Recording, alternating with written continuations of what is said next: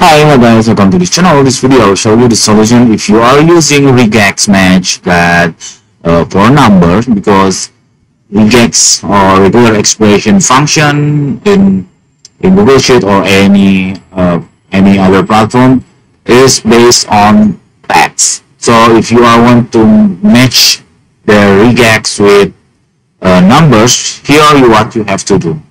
For example I want to make the regex match uh, function so this is the text uh, I I wish that contain seven. Is it right? This this uh, this number contains seven on on the uh, on the digit. So first you have to convert it into a text by using open the quotes and then you put the uh, single quotes and then put the and operator.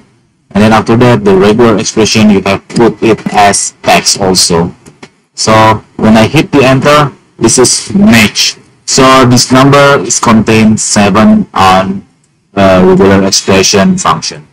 And then also I can see uh, the other cells. So you can see this is the number 0 0.9 blah blah blah. This number doesn't contain 7 on the digits. So here I already extract or uh, the function that contain 7 on the digit of numbers Okay, that's it. This simple tutorial. I hope it's helpful for you. If you please subscribe our channel. Thank you for watching.